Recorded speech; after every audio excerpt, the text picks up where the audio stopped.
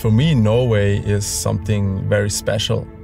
The snow really sticks to the steep faces and everything is more exposed. It's a very special thing for me as a freerider to ride such big lines. But 350 kilometers north of the polar circle, the weather gods are playing their game with different rules. We got stuck in a snowstorm after 22 hours, we were on the edge of giving up. But then the weather gods opened us the door to the Norwegians' deep ski heaven.